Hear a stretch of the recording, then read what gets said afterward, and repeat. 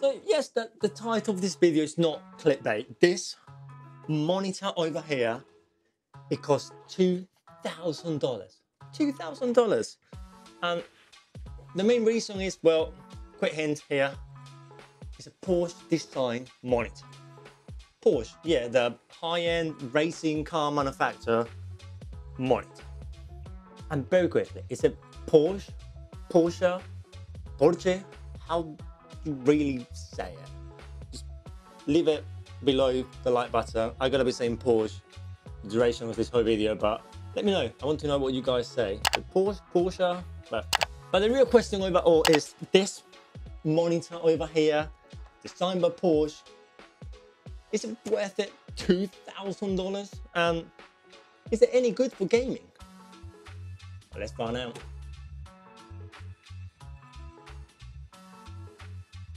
So the PD32M monitor that I got right behind me is an impressive 32 inch IPS 4K mini LED UHD monitor with a resolution of 3840 by 2160 with 1152 dimmable zones for some perfect and impressive blacks.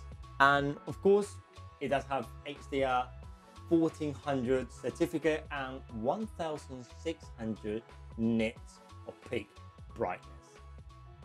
Um, for connectivity, well, this monitor doesn't stay behind whatsoever because it has two HDMI 2.1 and one DisplayPort 1.4, giving it some sweet 144 hertz at one millisecond response time for some excellent gaming, but also got a full USB-C with DisplayPort capability and support to up to 90 watts, one USB Type-B upstream port, and four USB Type-A downstream for all your peripherals and anything that you need to connect to this monitor.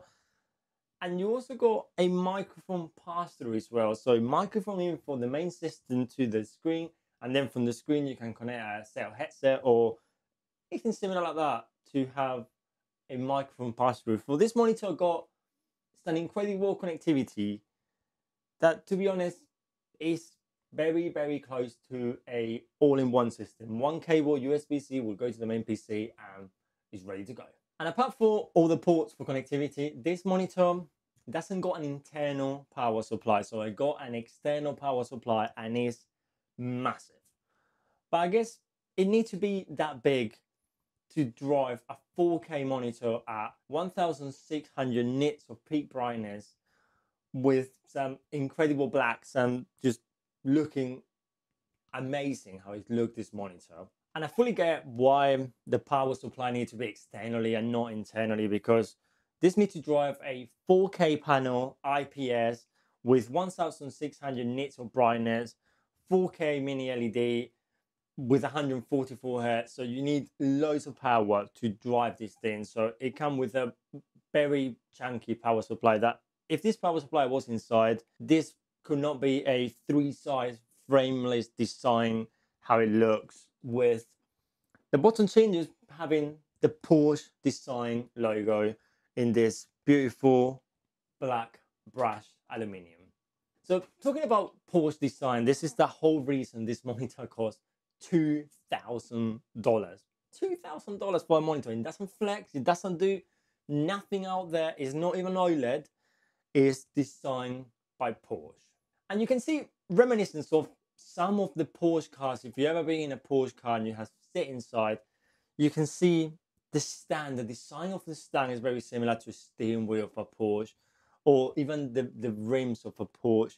Everything is all unique and the stand is a one piece machine aluminium that it just look incredible. And underneath got a little details like that tiny projector and you can a change the color of the lighting but b you can go between the logo of AOC or you can go with the Porsche design logo that I got over here. And that is reflecting down into the stand very similar to again some Porsche cars, when you open the door, you can see the logo projecting the floor to give it that wow factor.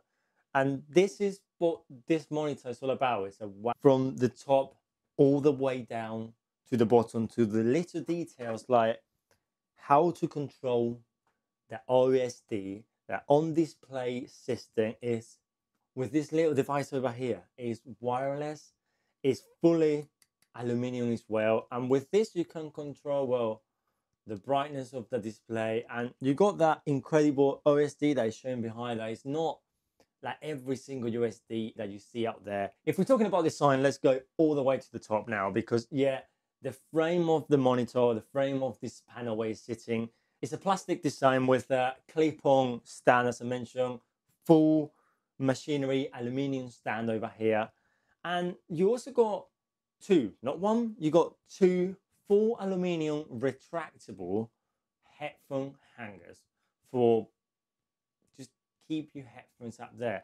And that is just the little details that Porsche is bringing to the table with a PD32M monitor.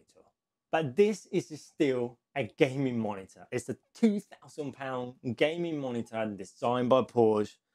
They also got a 27 inch version if you're looking into that one, but this is the 32 as I mentioned. And now for gaming, yeah, 2000 pounds you can pay an OLED with higher refresh rate and probably more features than what this monitor got for that price. And of course, you're paying for the Porsche sign tag at the bottom of your monitor and just say to your friends that yes, I got a Porsche design monitor. It's still an excellent, excellent gaming monitor from any game that you check, from gaming, racing, shooting, FPS, anything is an incredible gaming monitor. And you can also modify all the profiles, like all the gamer profiles, like one, two, and three. This give you three programmable profiles that you can change the vibrance of your color. You can put a FPS counter. You can actually put a cross, as I got right now showing there, a cross for some FPS shooting as well. It this monitor kind of got everything for gaming, but at the same time keeping it sleek for being a Porsche. And of course, again, paying two thousand dollars for this monitor. But I had this monitor now for about three weeks now and I've been testing it as my daily driver here in the studio. And color accuracy, I think this is the strong point of this monitor. This is being sold as a gaming monitor, but I think this is a productivity monitor, a content creator monitor. It got some excellent color accuracy for skin tones, and lighting effects and everything. I've been editing S-Log in this and the image that I'm getting is one to one to what I see on the camera right now. Um, what you see yourself, how you see yourself, is skin tones being as perfect as they can be, lighting being as perfect as it can be, and all the blacks being perfect blacks in this monitor. I'm watching content in this thing because watching YouTube, watching some movies in 4K HDR, they are just next level. So for the three weeks that I had this monitor so far here in the studio, editing all my videos with DaVinci Resolve, watching loads of YouTube content, and yes, gaming, this I would say it's a content creation monitor first and a gaming monitor second. But again, it's a Porsche design monitor and I just I don't know how many times I have said it's a Porsche design monitor and it's two thousand dollars monitor, but it's this two thousand pound monitor, two thousand pounds monitor. Is it really really worth it for gaming? Well, if you are like me, as I said, content creator first, gaming second, maybe maybe this can take your productivity and your your content, the quality of your content to that next level. And just remember, it's two thousand pounds. So if you're looking for different monitors that they don't cost two thousand pounds, well, just check link over here of all my other videos, and just let me know in the comment below what you think. Would you consider buying the Porsche Design PD32M by AOC? Well, link will be below the like button if you want to check that one out. But Comment down below what you think about this monitor and will you will you A like to try it? And will you keep it? if you tried it. Let me know down below. Thanks for watching, guys. I'm Tech. Welcome to the studio. We are rolling. See you in the next one, guys. Adios.